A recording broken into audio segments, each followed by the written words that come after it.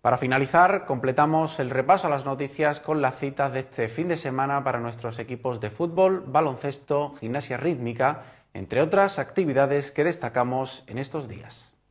Comenzamos a repasar las actividades deportivas de estos días previos a la Semana Santa, hablando del Unión Manilva Club de Fútbol. Este viernes se juegan los dos primeros partidos con los duelos de categoría Levin entre Manilva B y Benalmádena a las 6 de la tarde y Manilva A frente a Marbella Paraíso que se juega a las 7.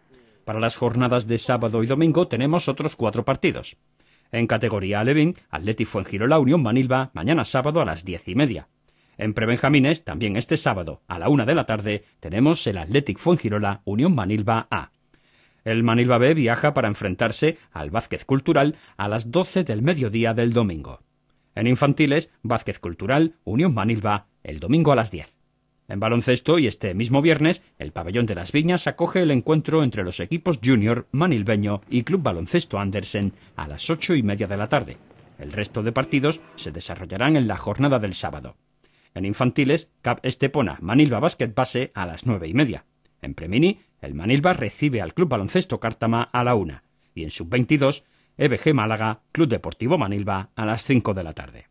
Por otro lado, mañana sábado 8 de abril se celebra el vigésimo quinto torneo de gimnasia rítmica de San Roque, donde se darán cita muchas escuelas y clubes de las provincias de Cádiz y Málaga. También estará la Escuela Municipal de Gimnasia de Manilva, que participará en la modalidad de conjuntos, pre-Benjamín, tanto el A como el B, además del Benjamín y Cadete. También en la mañana del sábado y en Valverde del Camino, Huelva, se celebra a partir de las 9 la primera prueba del Open de Andalucía de Maratón con la presencia del Club Ciclista de Manilva. El recorrido es de 73 kilómetros y la prueba se inicia a las 9 de la mañana. Por su parte, Óscar Vargas, Francisco Muñoz Negro y Paco Benítez, del Club Senderista Los Cruos de Manilva, viajan el sábado Antequera para formar parte del quinto maratón Desafío Sur del Torcal. Esta dura prueba tiene un recorrido de 43 kilómetros de distancia.